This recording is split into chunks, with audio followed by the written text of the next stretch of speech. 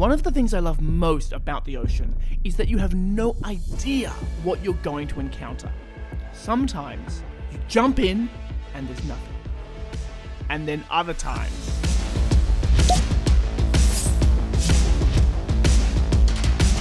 This video is about one of those other times. This video is what happens when you get connected to incredible people at the forefront of their own field.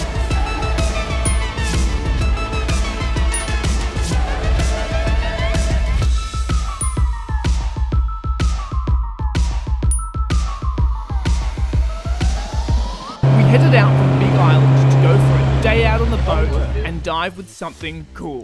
Our first stop was the local fads. A diver hopped in and Oh. nothing. So off to the second fad. So we're just continuing down to the next fad. Wait. Right, we are at the second fad, and I'm officially keen, and I'm gonna get dressed. Dan, Dan turns up today, and he's like, Adam, you're not. Uh, you seem a little bit. Uh, what did you say? I'm tired. Uh, as tired. the weeks go on, I see less and less energy for that. I'd like to point out that when we're shooting this video, I had been diving every single day for two weeks. I was wrecked! right. Typically around these fads, we get a whole bunch of pelagic fish and sometimes some sharks. We definitely did not expect to see a whale shark.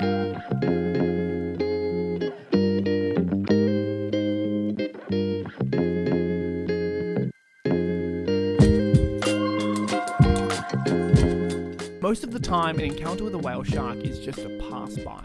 It passes you by with no interest in you, and you see it for a moment and it's gone. But not this whale shark. This whale shark hung around with us for ages. It was really interested in the boat and the fad, And you can see it coming up here and, and opening its mouth and closing its mouth. And if you know why the whale shark is doing this, let me know in the comments down below because I've got no idea what this behavior really means or why it's doing this.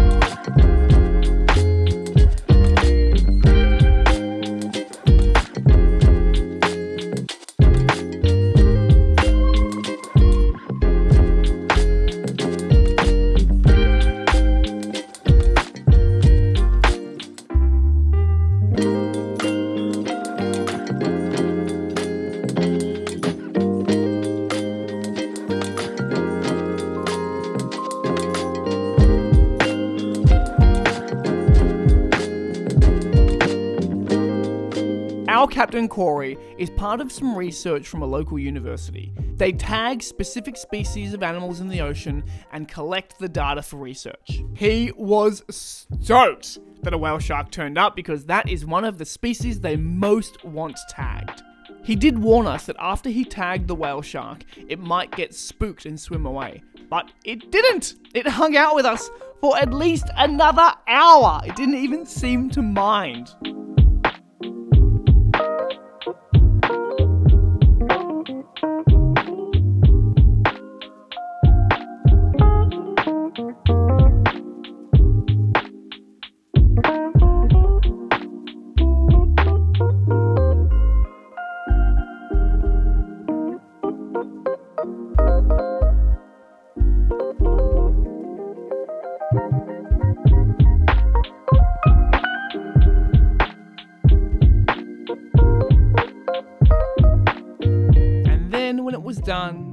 It swam off into the distance.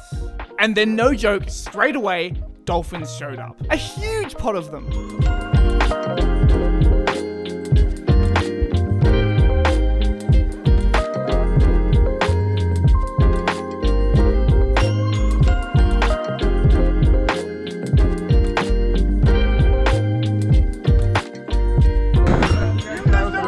That was amazing.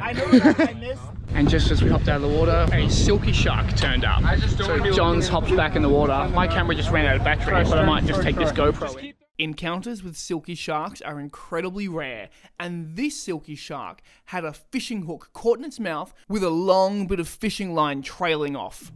The shark's got a fishing hook and a fair amount of line coming off him, so there's not much we can do about uh, taking the hook out. But one of the boys is at least going to go down and cut that line. That hook will eventually just rust out.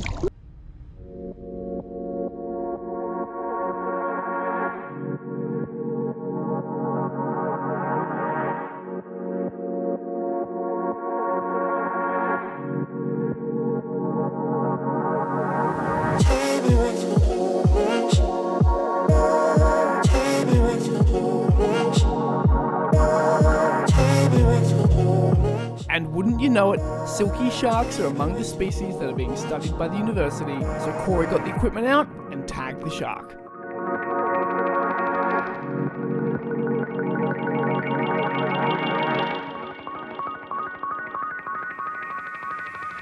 That was cool. I don't know if I've seen a silky shark before, but they're really beautiful. And like, you know, seeing them get tagged is really awesome.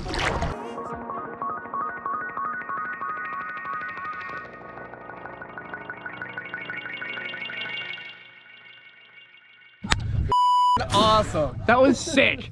Just, you know, the amazing thing was, there was some good mahi mahi on the fad too. We were just like, whale shark! And then what were, Brittany, what were those sharks again? They were white, Oceanic white tips. the oceanic white tips came in, it was just sick. It was just mayhem. And the whale shark just stayed with us for like two hours or something. Even after they tagged him, still just hung around. So yeah, cool. Going to Twin Sisters Cave now, which is like an epic cave. And it's really shallow, so I'm gonna start eating. You can have food in your stomach when there's shallow dives, let's be real. What's it like being John Coates? Yeah, pretty average day in life of an underwater photographer. I mean, we do what we can. It's a rough life. If You submit, uh, if you submit the left side of the animal, they can use photogrammetry and uh, you can stick in their catalog. What would you What would you name it? Adam Stern.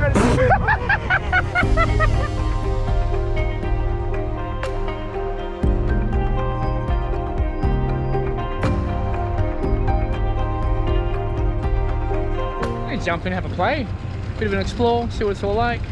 It's going to be pretty good. I'm pretty excited. I like. I'm actually excited. I'm just really tired. So, Jonathan Coates Dylan said he'd get naked. soiling his wetsuit.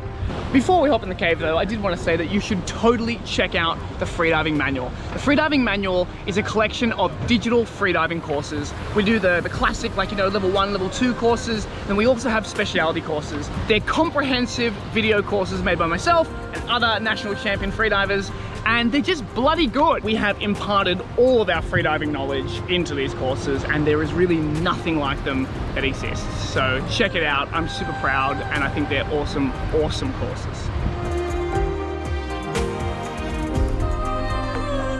The Twin Sisters Cave is very well known in Hawaii, but you can only get there by boat. I've wanted to go there for ages and it was gorgeous, but to be honest, I was so exhausted that I took a few photos and went straight back to the boat.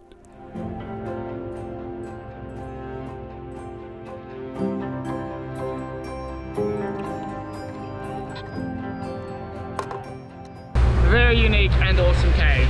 Uh, we're gonna start heading our way, uh, back to the marina. I'm way too tired for this right now.